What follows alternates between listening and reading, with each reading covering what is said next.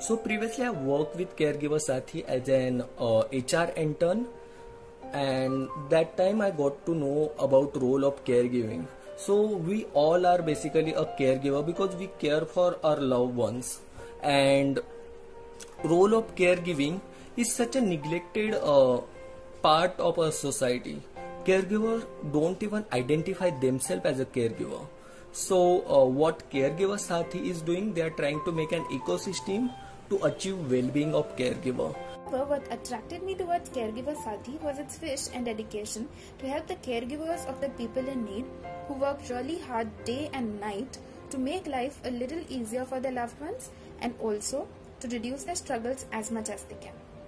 I chose to volunteer because I like the fact that it was helping people who are primarily responsible for the care and well-being of their loved ones. Um, why I chose Caregiver Saathi as platform to volunteer is because Caregiver Saathi um, stands for a cause that is not very popular or that is not um, very well known among a lot of people. That it that is it looks after the primary caregivers, those who care for others, uh, and this was something that I found extremely appealing. And um, this is something that um, is actually very important and very detrimental to the society, but not a lot of people know about this.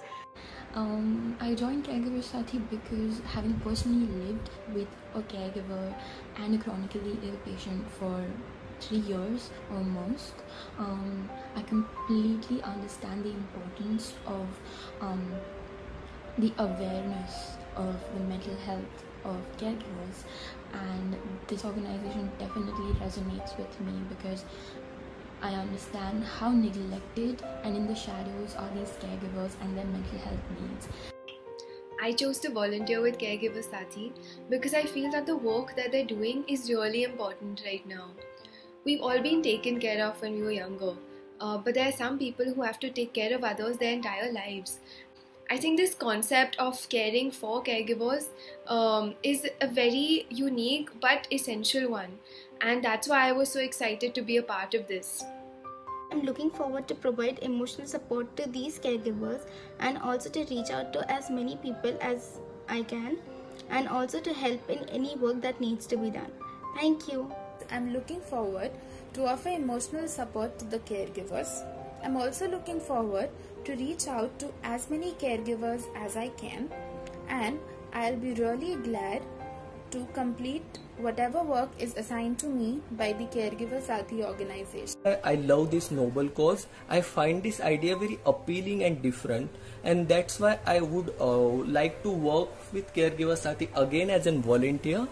Uh, and yeah, I'm looking forward to learn uh, new things and great experience with Caregiver Saathi this organization is definitely going to help me to reach out to as many people as I can. So the goal is to reach out to as many people as I can, making them aware of the needs. The people, the organization, everyone is extremely helpful. As a volunteer, um, I would like to contribute my skills in any way possible, reach out to the maximum number of people, uh, uh, and I would like to um, give whatever I have, learn a lot more, and um, help out in any which way possible. I hope to be able to help in whatever way I can.